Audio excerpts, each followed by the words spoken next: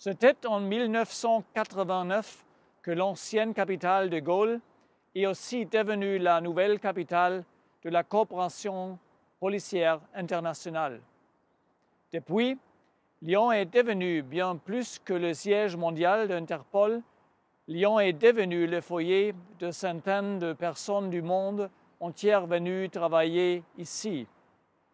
Alors qu'Interpol s'est progressivement tourné vers le reste du monde en y établissant une présence physique en Afrique, aux Amériques et en Asie, c'est bien à Lyon que l'organisation resta ancrée.